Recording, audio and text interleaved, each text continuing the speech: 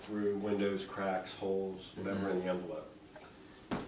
And based on the volume, the size of the inside of the house, um, and the amount of air leakage that we have, we can calculate what the air exchange rate is. In other words, how much air um, is exchanged in one hour. And then are you gonna try to find where it's drawing air in, or is that? Well, after not we, after right we, now. we'll run up, uh, we'll do a five-point uh, depressurization test, uh, then we'll do a one point at fifty pascals, and that- and at that point, we'll walk around. Cool.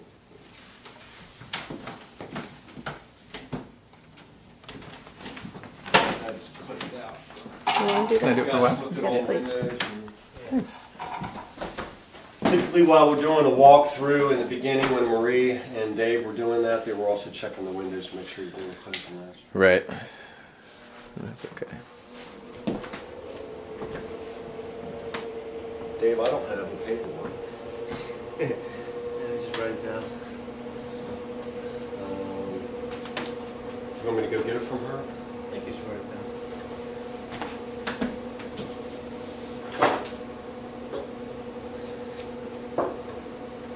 We're in no danger of the house imploding, right? We're uh, Yeah, it's not. No. the pressure is You don't not that even know. extreme. I mean, what's going on. All right, I've got nine point six, four hundred forty-five. Ring B, Yep, ring B, uh, pressure flow.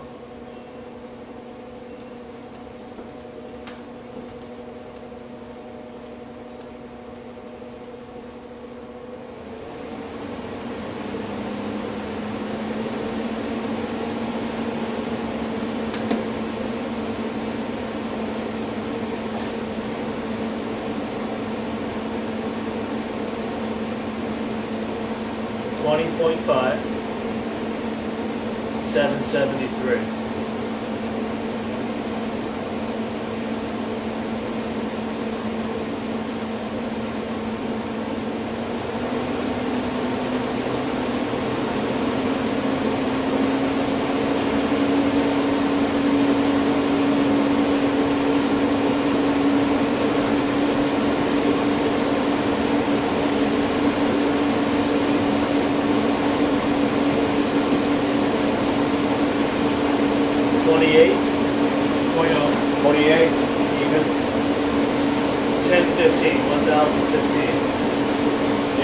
Access is shut. The attic access is shut.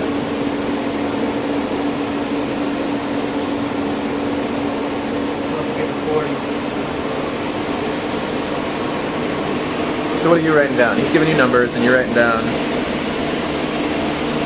Writing down the house pressure Gotta get an and uh, the fan flow in CFM. Mhm. And um, we do a five-point test for accuracy. Uh, uh, so we get five points, and then, then you can graph that. You can plot those five points to get a curve. Um, if, the, if, if some of those points are outside of the of the line when you extrapolate it, um, that means that there's uh, an anomaly or, or something's not. Uh, there could be a, there could be a leak in the house or um, uh, the wind outside Could be affecting, affecting, it. Right. Sure. gets as it gets a little windy, windier outside, we'll do uh, averaging. We'll, um, we'll go to five second averaging or ten-second averaging, depending okay. on how windy it is out. If it gets too windy, we probably shouldn't do a blower door test at all because it's not going to be very. It'll accurate. just throw it off. Usually, if, if you get above 30 mile an hour wind gust or 35, you probably should be thinking about doing. I'm at 40.3. 40.3. Uh huh. 1247. 1247? And you're on ring A? Yes.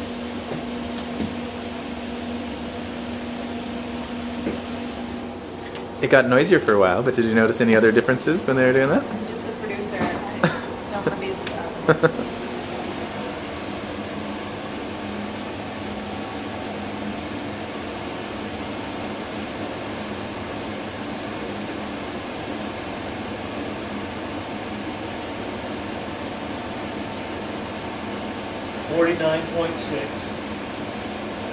1434.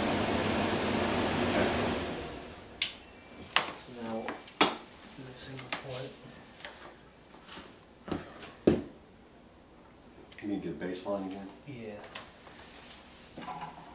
We're going to get a baseline reading again um, for the pressure differential between inside and outside.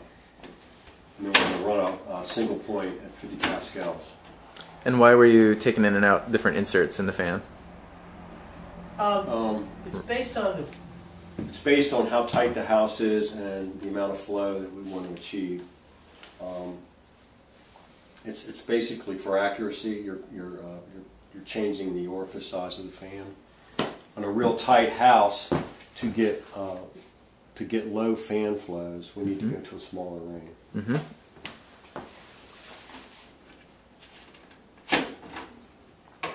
the larger the house that you have, typically you have to remove rings because you've got to flow more. You got to bring more air through. Um, you, if you get into a, a very large house, you won't have any rings on it. You'll have an open fan. Even at that point, because you have such a large volume in a large house, you may not be able to reach 50 pascals. to get the pressure you want. Right. Yeah. So you have to use a can't reach 50 factor. Shouldn't be a problem in GHI because our hoses are all pretty small. No, they're small. Once you get above, once you get outside of 6,000 square feet, then you, then you probably can't get it. Yeah, we won't find that here.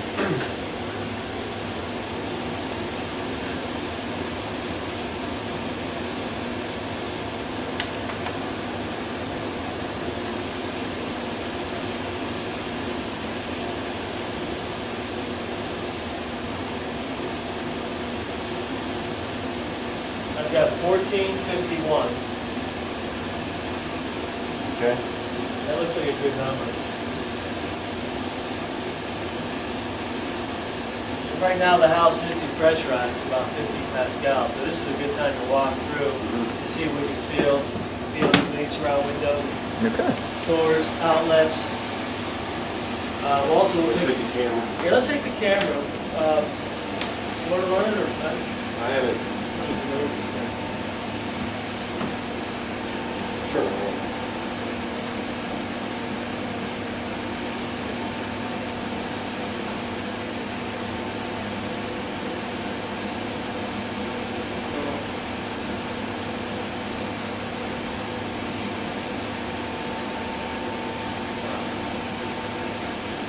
So while we're depressurizing the house, if we look, if we look around with the camera, you know, it's infrared, so it senses temp- uh, differential in temperature. So since it's warmer in the house, you're going to get a blue or green uh, resolution uh, if any cold air is coming in. Yep. So you're kind of focused on the on the wall down I'm, here. I'm looking at the seeing? baseboard right here, and it's, I've got a lot of blue around that baseboard. So there's air leaking through there. Oh, window. Like behind the heater. Yeah. Like it's maybe not, so that's an indication that it's not insulated as well. as well as the rest of the wall around it. As I work up to about this intersection with the ceiling and the wall, um, I could probably do it like this. That doesn't look too bad actually. There's not a lot of change there. You can see around the, our test rig. Yep. Um, now, So what are you saying, Dave? You're getting, getting a lot of blue underneath just the baseboard? under the baseboard and around the window frame, Okay, well that can be infiltration. And it is. feel it?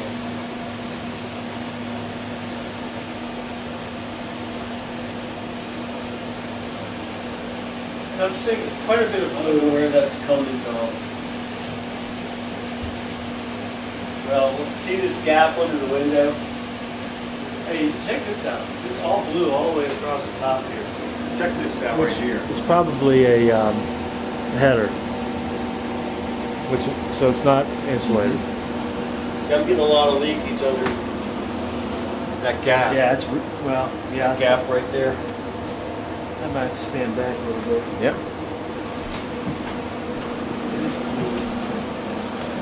Look, look at that. All Is that all the way along that wall, or what are you? Now, Across as I, the, as I as I cross from the piano, Is it about where the electrical lines might be run? Yeah, there's some electric. Yeah. So maybe when they ran some of those electrical lines, they moved insulation out of the way, or It may not be. it's not the same. What's the construction? Here? Frame and balloon. Mm-hmm. This looks uninsulated as well. What room is this? This is the dining room. Dining room. I don't know. Might be the living room in some people's On plan- houses. On plan, it's gonna show up as the living room. It's the living room. Yeah, right. Because that's the addition. This would be the living room.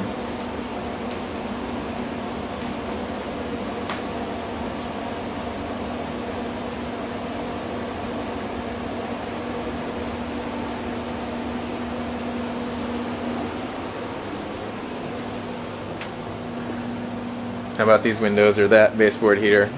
Same deal. Uh, yeah, I see a fair amount of blue.